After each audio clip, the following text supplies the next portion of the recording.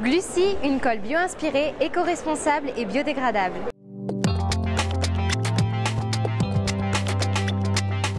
Léa Perran, étudiante en 5e année à Subiotech, promotion 2020, et chef de projet de Glucy. Le projet Glucy propose une alternative aux colles actuelles qui sont toxiques pour l'homme et pour l'environnement.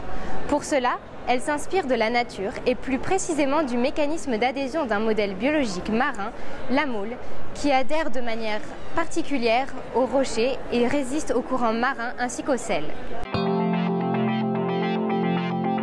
Subiotech nous permet de réaliser des projets innovants de A à Z. Nous travaillons de manière autonome tout en bénéficiant d'un encadrement régulier.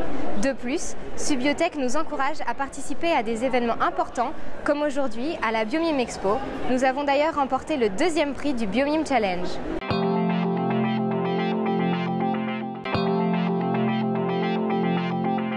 La suite pour Glucy, c'est la réalisation de notre preuve de concept et l'amélioration des qualités de notre colle.